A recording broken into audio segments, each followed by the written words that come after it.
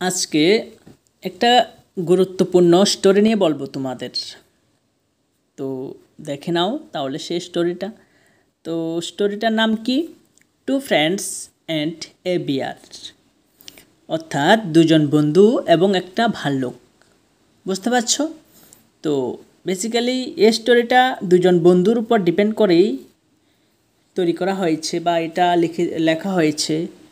দুটা দুজন বন্ধু চলছিল, হঠাৎ তাদের মধ্যে যে ঘটনা ঘটলো বা যে স্বার্থপরটা ঘটলো, সেটাই আমি তোমাদের তুলে ধরব।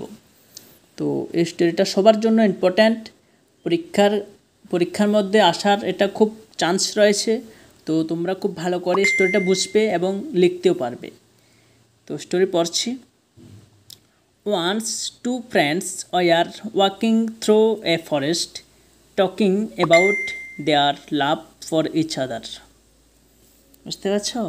ওয়ান্স অর্থাৎ একদা টু ফ্রেন্ডস দুজন বন্ধু ওয়ার ওয়াকিং হাঁটছিল। ওয়াকিং মানে হাঁটছিল। থ্রো এ ফরেস্ট অর্থাৎ একটা বনের মধ্যে দিয়ে। থ্রো মানে কি? মধ্যে দিয়ে।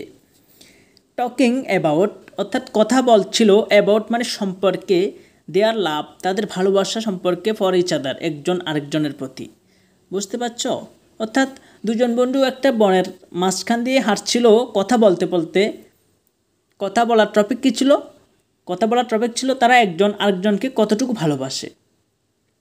But suddenly this saw a bear coming towards them but অর্থাৎ কিন্তু সাডেনলি হঠাৎ করে দে স তারা দেখল স মানে দেখল এ বিয়ার একটা ভালুক কামিং আসছিল টুয়ার্ডস তাদের দিকে। টুয়ার্ডস দ্যাম তাদের দিকে। অর্থাৎ টুয়ার্ডস তো দিকে বা প্রতি, তাদের দিকে আসছিল। Both of them were terribly frightened অর্থাৎ বোথ অফ দেম মানে তারা দুজনেই ওয়ার টেরিবলি অর্থাৎ খুব টেরিবলি মানে ভীষণ ফ্রাইটেন্ড অর্থাৎ ভয় পেয়ে গিয়েছিল।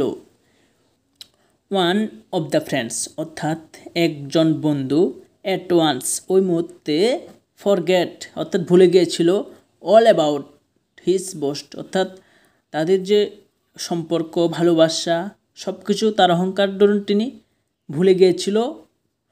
ফ্রেন্ডশিপ অর্থাৎ বন্ধুত্বের সব সম্পর্ক তিনি ভুলে গিয়ে অ্যান্ড এবং ক্লাইম্পড আপ অর্থাৎ উপরে উঠে গেল এ নিয়ার বাই ট্রি অর্থাৎ একটা কাছে যে গাছ ছিল, একটা গাছে উঠে গেল একজন বন্ধু ভাল্লুককে দেখে টু সেভ হিমসেলফ তার নিজেকে সেভ করার জন্য, রক্ষা করার জন্য। তারপর দেখো he did not think for a moment what would happen to his friend he did not think অর্থাৎ তিনি একটুও ভাবলেন না ফর এ মোমেন্ট ওই মুহূর্তে হোয়াট উড হ্যাপেন কি হতে পারে হ্যাপেন মানে হতে পারে বা ঘটতে পারে টু হিজ ফ্রেন্ড তার বন্ধুর সাথে। The other friend did not know how to climb up a tree other friend অর্থাৎ অন্য বন্ধু ডিড নট নো অর্থাৎ জানে না হাউ টু ক্লাইম্ব আপ অর্থাৎ কীভাবে চড়তে হয়, অর্থাৎ গাছে উঠতে হয় হাউ টু ক্লাইম্ব আপ অর্থাৎ উঠতে হয় এটি একটা গাছে, সেটা আরেকজন বন্ধু বা অপর বন্ধু জানে না। ফর এ মোমেন্ট ওই for a moment he was at a loss ওই মুহূর্তে হি ওয়াজ অর্থাৎ সে এট a loss at a loss মানে কি? হত অর্থাৎ কিং কর্তব্য মানে কি হতবম্ব হয়ে গিয়েছিল কি করবে বুঝে উঠতে পারছিল না। বুঝতে পারছ? তো তারপর দেখো suddenly he remembered that a bear never touches a dead man suddenly অর্থাৎ হঠাৎ করে হি রিমেম্বার তিনি মনে করলেন বা তার মনে পড়ে গেল ড্যাট যে এ বিয়ার একটা ভালুক নেবার টাচেস কখনোই স্পর্শ করে না। বা টাচ করে না এ ডেড ম্যান একজন মৃত মানুষকে। So he lay flat on the ground holding his breath so এই কারণে হি লে ফ্ল্যাট অর্থাৎ তিনি ফ্ল্যাট হয়ে শুয়ে গেলেন অন দ্য গ্রাউন্ড মাটির মধ্যে হোল্ডিং হিজ ব্রেথ ব্রেথ মানে শ্বাস প্রশ্বাস, অর্থাৎ শ্বাস হোল্ডিং মানে ধরে রেখে, অর্থাৎ তার শ্বাসটা কিছুক্ষণ ধরে রেখে তিনি মাটিতে শুয়ে পড়লেন। He seemed as good as dead অর্থাৎ তাকে দেখে মনে হয় তিনি মৃত বা সে মরার মতো ভান করে শুয়ে রইলেন। The bear came up to him and smelt his ears nose and face the bear came up অর্থাৎ ভাল্লুকটা আসলো টু হিম তার কাছে অ্যান্ড অর্থাৎ এবং স্মেল্ট হিজ আর্স অর্থাৎ তার যে আর্স ছিল, তার যে কান, সেটা সামনে স্মেল্ট অর্থাৎ গন্ধ শুকলো নোস নাকেও গন্ধ শুকলো অ্যান্ট এবং ফেস অর্থাৎ মুখেও গন্ধ শুকলো। বুঝতে পারছ?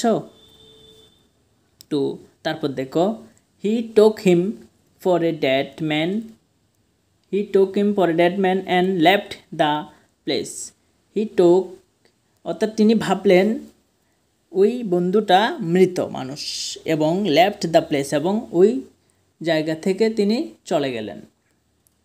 Now the selfish friend came down from the tree অর্থাৎ নাও মানে এখন দ্য সেলফিস ফ্রেন্ড ওই যে স্বার্থপর বন্ধুটা কেম ডাউন নিচে নেমে আসলো। কেম মানে আসলো ডাউন মানে নিচে নিচে নামা আসলো গাছ থেকে ফ্রম দ্য ট্রি অর্থাৎ গাছ থেকে।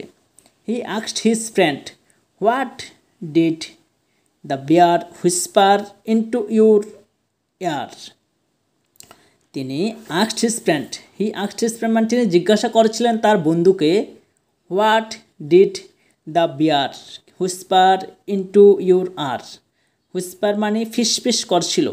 অর্থাৎ ওই যে ভাল্লুকটা হোয়াট ডিড দ্য বিয়ার অর্থাৎ ভাল্লুকটা কি হুইসপার অর্থাৎ ফিস ফিস করল ইন্টু ইউর আর অর্থাৎ তোমার কানে কি ফিস ফিস করে বলেছিল? The friend curtly replied the bear just told me not to trust a man who leaves his friend in danger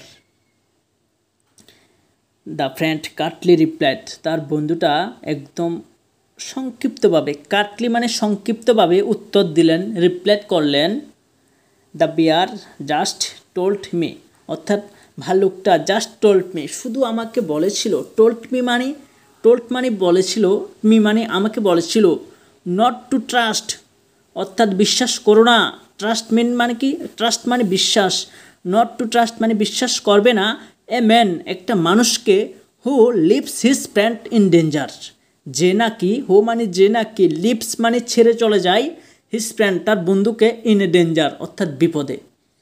বুঝতে পারছ? Saying this he went on his own way saying this মানে এ কথা বলে হি ওয়েন্ট তিনি চলে গিয়েছিলেন on his own way তার নিজের মতো করে। বুঝতে পারছ? তো মোরাল অফ দ্য স্টোরি কি? A friend in need is a friend in need অর্থাৎ বিপদের বেলায় যে বন্ধু এগিয়ে আসে, সেই হলো প্রকৃত বন্ধু। বুঝতে পারছ? তো স্টোরিটা কেমন লাগল? অবশ্যই জানাবে। আর স্টোরিটা ভালো করে একটু শিখবে, এটা একটু গুরুত্বপূর্ণ রয়েছে তোমাদের পরীক্ষার জন্য। বুঝতে পারছ? সো টাটা, আবার দেখা হবে এমন কোনো স্টাডি রিলেটেড ভিডিওতে তৎক্ষণাৎ সবাই সুস্থ থাকবে, ভালো থাকবে, এটাই আশা রাখছি।